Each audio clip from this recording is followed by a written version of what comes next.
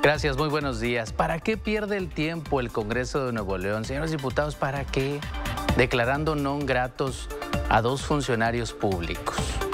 Lo que hicieron Pedro Salmerón y Gerardo Fernández Noroña pues, fueron declaraciones desagradables sin duda, que ofendieron a mucha gente, sobre todo al sector privado del Estado.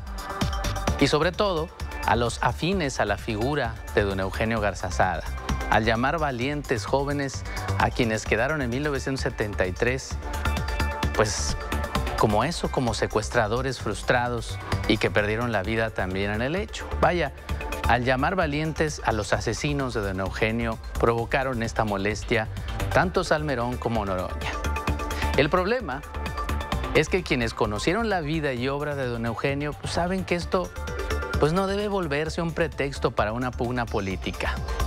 Saben también que si don Eugenio viviera, difícilmente dedicaría algunos minutos a debatir con ambos personajes, sobre todo con Fernández Noroña. Por principio de cuentas, declarar non grato a alguien es una atribución diplomática que no tiene mayor efecto que eso. Una declaración pública de que tal o cual persona no es bienvenida, pero no tiene mayor consecuencia jurídica, no, no sirve más que para eso. Ni quiere decir que ambos señores no puedan transitar en territorio de Nuevo León. Solo es eso, no son gratas. ¿Quién no tiene una persona no grata? A veces ni se lo puede decir.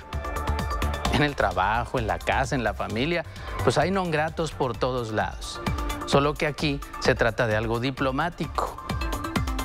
Hace mucho, hace mucho tiempo Mauricio Fernández, por ejemplo, declaró non grato a un juez, ¿se acuerda? Por sus decisiones que no era bienvenido en San Pedro. Quedó todo en eso, en una simple anécdota. Entonces, ¿de qué sirve que lo haya hecho el Congreso local con Fernández Noroña y con Salmerón? Y que ayer también por este tema protagonizaran un show en tribuna defendiendo el punto por la amenaza de Noroña de venir el 2 de octubre a Nuevo León y de reclamarles esta decisión ahí en pleno Congreso. Es pérdida de tiempo. Hay temas mucho más importantes que resolver. Por dos motivos. El primero, que en este país cualquiera tiene el derecho a ejercer su opinión, nos guste o no nos guste. Todos pueden opinar sin ser perseguidos. Y eso hicieron Salmerón y Noroña. Ya está en cada quien la decisión de aceptar el punto o juzgar los locos o lo que sea. Ejercieron su derecho.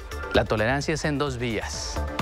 Y el segundo motivo, ¿Quién es Fernández Noroña?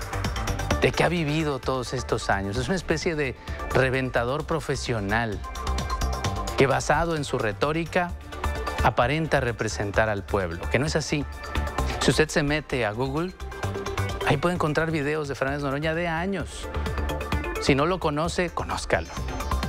A esa persona la declaran non grata. ¿Alguna vez lo fue? En la vida cotidiana uno debe aprender una frase muy trillada y sencilla, pero cierta. Las cosas de quien viene. Paso buenos días.